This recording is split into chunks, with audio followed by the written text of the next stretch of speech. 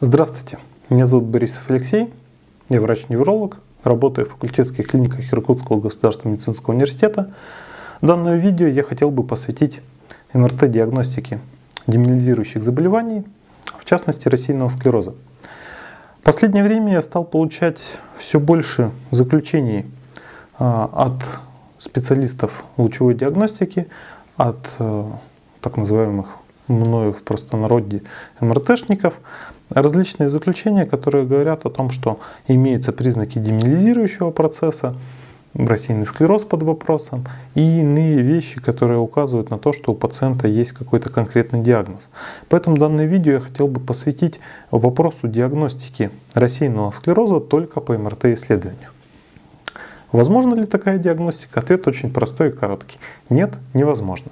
Потому что для выставления диагноза рассеянный склероз одного МРТ-исследования головного мозга все-таки недостаточно.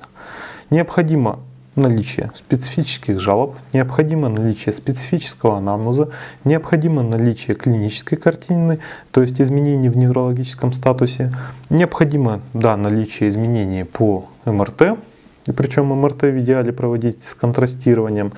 И необходимо все-таки исследование на олигоклональные антитела, то есть взятие ликвора на лабораторную диагностику.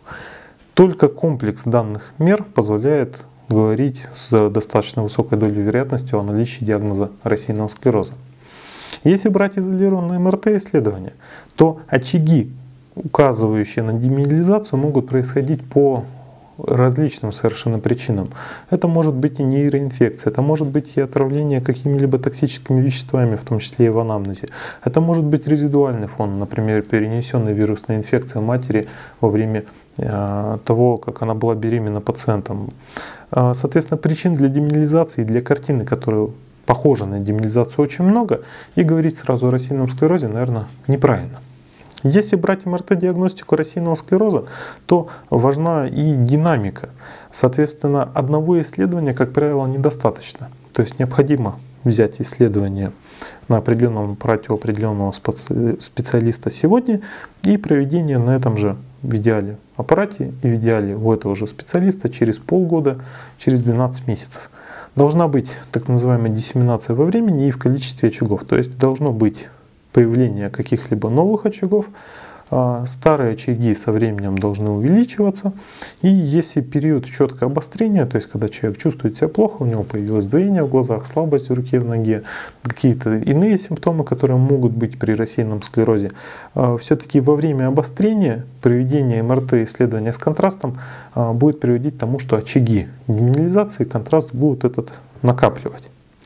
Соответственно, если нет накопления контраста, а при этом есть четкое ухудшение, если нет а, нарастания величины очагов или появления новых очагов со временем, если нет таких вот признаков, соответственно, э, речь о рассеянном склерозе, наверное, вести не стоит. Надеюсь, моя информация была полезна для вас. Оставляйте свои комментарии под видео. Выставляйте мне оценки, чтобы я понимал, стоит ли мне заниматься данной деятельностью дальше. Эм, оставляйте пожелания по поводу того, какие темы хотели бы от меня услышать. Спасибо за внимание.